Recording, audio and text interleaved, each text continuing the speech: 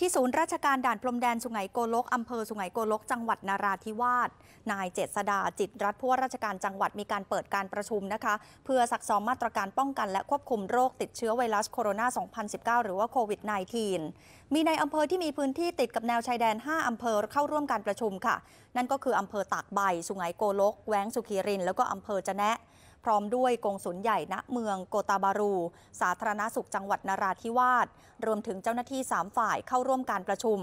ทางนี้ท่านผู้ว่าราชการจังหวัดนาราธิวาสก็ได้เน้นย้ำให้ในายอำเภอพื้นที่แนวชายแดน โดยเฉพาะอำเภอตากใบ สุไหงโกลก แล้วก็อำเภอแว้ง คอยเฝ้าสอดส่องดูแล พร้อมกับจัดกำลังคนไปควบคุม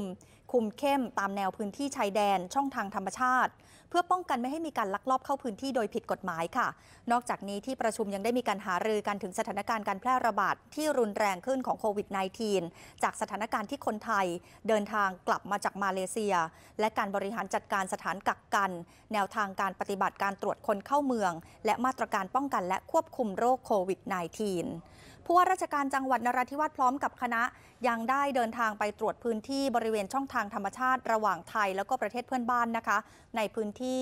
บ้านลูโบะคงหมู่ 3ตำบลปาเสมัดอำเภอสุไหงโกลกจังหวัดนราธิวาสท่านก็เน้นย้ำให้ในายอำเภอสุไหงโกลก แล้วก็เจ้าหน้าที่เจ้าหน้าที่3ฝ่าย คอยจัดกำลังเฝ้าควบคุมดูแลพื้นที่อย่างเข้มงวดค่ะ เป็นการป้องกันการลักลอบการหลบหนีเข้าเมืองโดยผิดกฎหมาย โดยเฉพาะในช่วงที่ใกล้กับเทศกาลวันหยุดแบบนี้ด้วยยิ่งต้องเข้มงวดเป็นพิเศษค่ะ